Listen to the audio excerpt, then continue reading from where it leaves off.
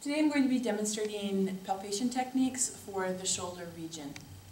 The first thing that you want to do when palpating the posterior structures in sitting is make sure that the patient is comfortable, appropriately draped, and has her feet supported, which we do with the leg rest. The first thing you want to do is simply place your hands on the shoulders to see how the patient responds to your touch, to get a sense of the tenseness of the most superior muscles, and also to quiet yourself as a therapist to start to focus on your hands and what you're feeling. When in this position, if you'd like, you can actually palpate the first rib. Can I have you look straight ahead for me, please? By coming in to the base of the neck and applying a pressure inferiorly and medially at approximately a 45 degree angle, in front of the upper trapezius you can find the first rib,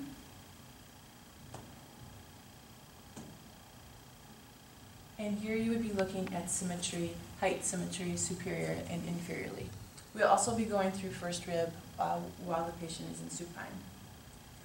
So back in this position, what you're going to do is your thumbs are going to naturally fall along the medial border of the scapula.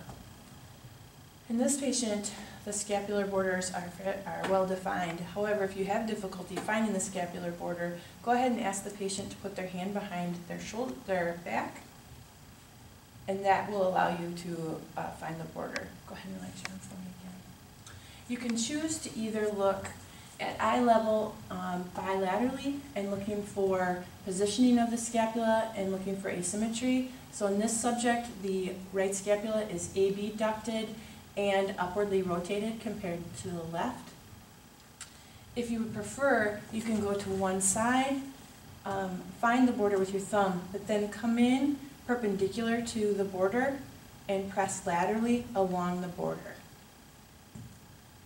Once you get along the medial border, you're going to get to the inferior angle of the scapula. And here what you can do is look for symmetry of movement of the scapula with arm elevation. So go ahead and lift both arms up overhead. Flexion's fine. Abduction is fine too. So here I can look for symmetry. Come on back down. And again, this patient does not have symmetry of the scapula. Go ahead and do that again for me. Where we're getting increased elevation and upward rotation of the right scapula compared to the left.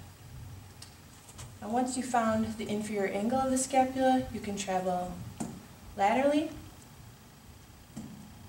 Again, you're palpating through several muscles to find the lateral border and you're going to come up until you get to the angle of the scapula, excuse me, the acromial angle, which is simply the posterior aspect of the acromion. Now if we come back down along the lateral border and then again back up the medial border, we can travel all the way up to the superior angle. This may be hard to palpate given uh, tightness of the levator scapulae in particular, um, and this does tend to be a spot where people have a lot of tightness. The other bony landmark of the scapula that you'll want to palpate is the spine of the scapula. So here you can just place your hands over the superior aspect of the scapula and the spine of the scapula will jump right out. So again, we can follow the spine of the scapula all the way out until you get to the acromial angle. Now, the spine of the scapula is going to divide the suprascapular fossa and the infrascapular fossa. Uh, sitting is not the best position to palpate soft tissues, so we will go back and palpate these muscle bellies um, with the patient in prone. So we've palpated the acromial angle from the posterior aspect, and I've moved now laterally. And now what you want to do is palpate anteriorly until you've gotten to the anterior aspect of the acromion. And what you want to appreciate is the width of the acromion of the patient. From this landmark, you can come over to the lateral border of the acromion and step down. Now the acromion is above my thumb and the humeral head is below. This is the subacromial space. So this is where you will find the subacromial bursa. Again, if a patient is asymptomatic, you won't feel anything remarkable there. So we're palpating for reproduction of symptoms and potentially increased fluid when we press if they do have a bursitis in that region. Now, also laterally, uh, we're going to palpate the deltoid tubercle, so you're going to come down, use the pad of two to three fingers, and uh, go in a circular fashion until you found the deltoid tubercle. That's going to be a common landmark for referral of glenohumeral pain, so it'll be important to palpate the tubercle. In this patient, the deltoid is well defined, so it's easy to find that attachment. If you have a patient in which that is difficult to find, go ahead and resist abductions. What I'd like you to do is try to bring your elbow up to help increase the definition of the deltoid. And go ahead and relax.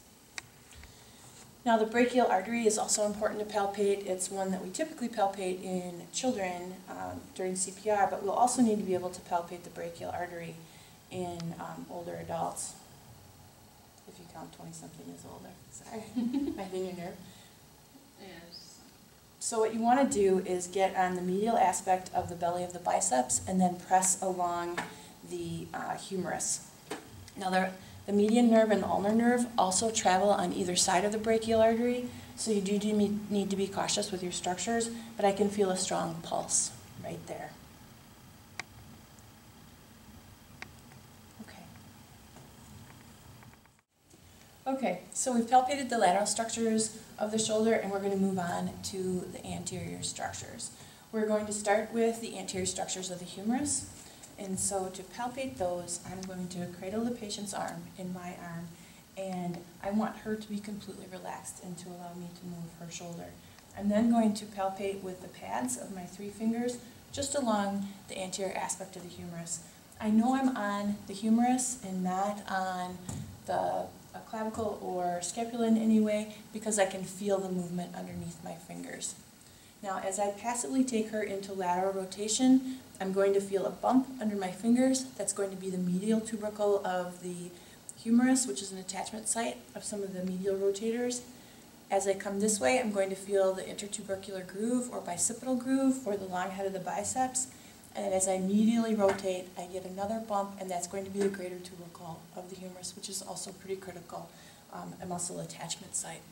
So again, you're going to rotate through. I'm not moving my fingers at all, but simply letting those structures come in underneath my fingers.